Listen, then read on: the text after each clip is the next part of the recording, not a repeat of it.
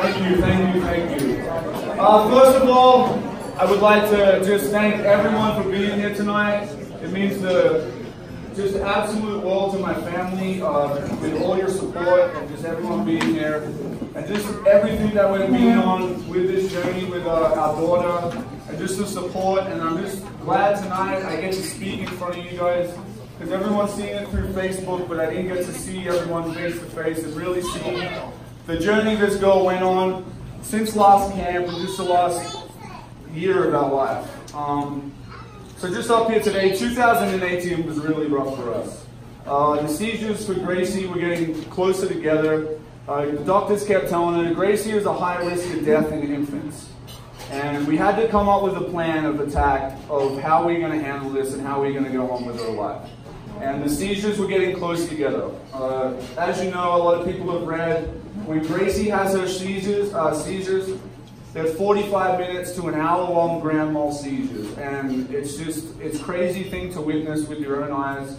Um, and they were getting closer together. And it was starting to scare us a lot, and we had to make a call of what we're going to do here and where do we go with our plan of attack. And, um, you know, going through that stage, it was hard for us. Uh, there's certain moments in, in this journey, and especially through this last year, that have, changed us as people, and I just try to pass this on, is that God really stripped us down to nothing.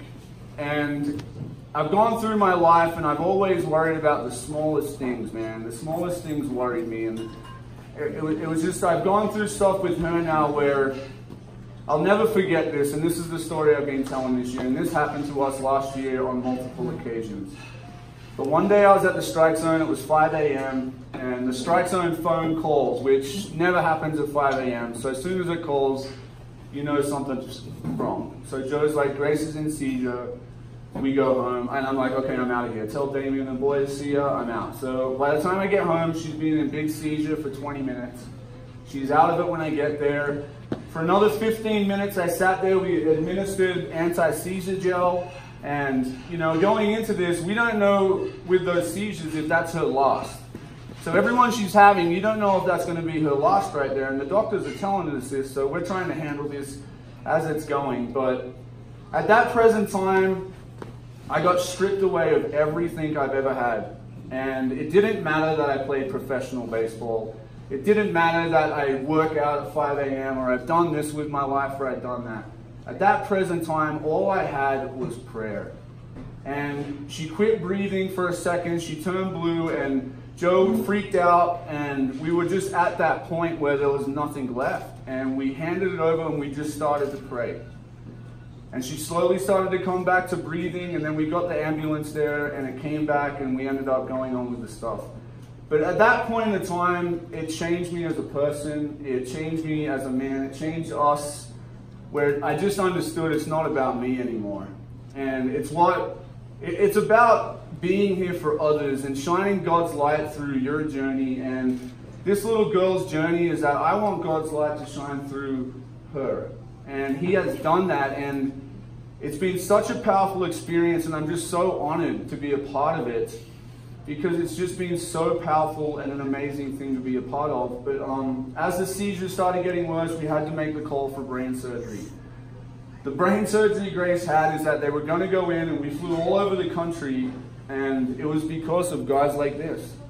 And we, we were able to fly around and get help and get answers, and they were going to go in and disattach the whole left side of her brain. And that's it, it's done. If they cut that, there's no going back. And it was either, okay, what's the first thing to do here? The first thing is trying to take care of the seizures, because if she doesn't, we don't take care of the seizures, there's a chance she's gonna die. So we just like, we're gonna go with the brain surgery, and we prayed about it, and we went full steam ahead. And I tell you what, guys, I sit here tonight, and it gives me chills, but everyone that prayed for my daughter when we went through that brain surgery, I have been a part of some cool things in my life that week up in Denver and just that morning that we went back before she had the surgery, everyone was praying at a certain time. It, it was like, I remember it was right before, about 6.45 a.m.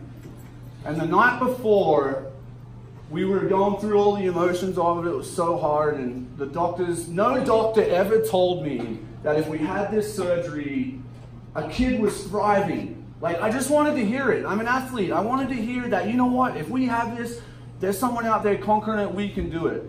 But I, we never got that. And the night before, we were, I was kind of a little angry just dealing with the emotions, and I told Joe in the car, I said, I just want to hear a doctor say some kid's striving. And I never use the word striving, by the way. So it was just weird I used it that night. So then I seen all, I was trying to relay the message on Facebook for what she was going through because prayer is just a powerful thing when you're going through that. And then the next day when we got there in the, in the hospital room, the doctor came in. And by the way, this doctor was Doogie Howser. He was 22 years old looking, and he came in. He's like, I'm, I'm, I'm like, Joe, is this for real?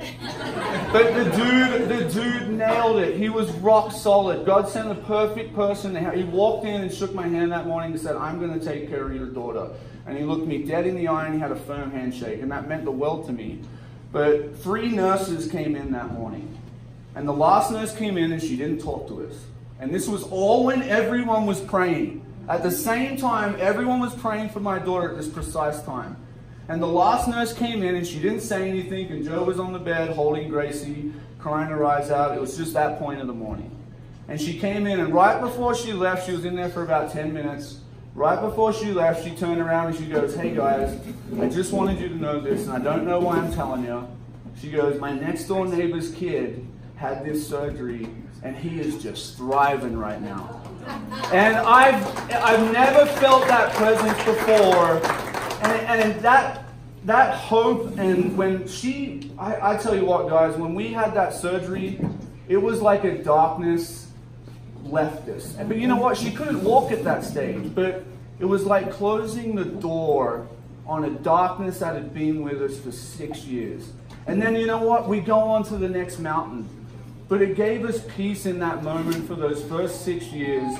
And just to be here and spend this night with you and be here and just say thank you for just all the prayers, the phone calls, and just that stuff, I experienced it. And it was absolutely amazing.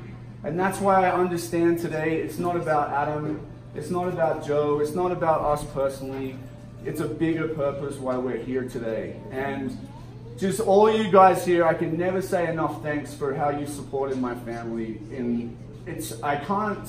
It's a, hard thing for me to say. You guys have taken us under my wing, raising my family in this community. You support me every week.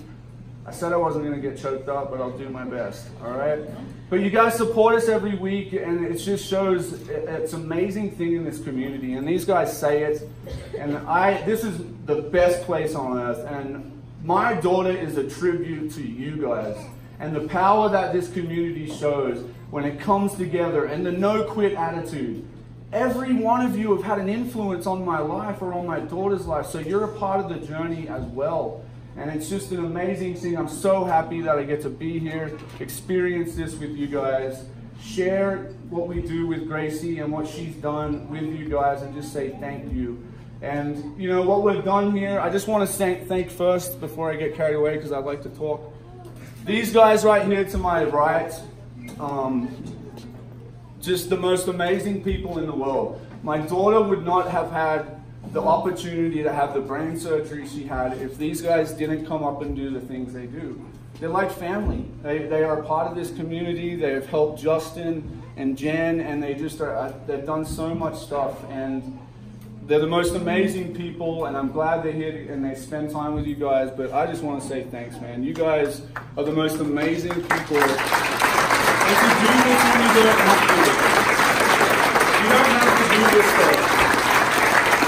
You know, they don't have to be here. And I was an ex-player, and just to do that off the field, it's not a coincidence that you look.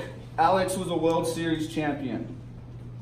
Blake was a World Series champion. Rookie of the Year for the Twins. It's not a coincidence because they're great people.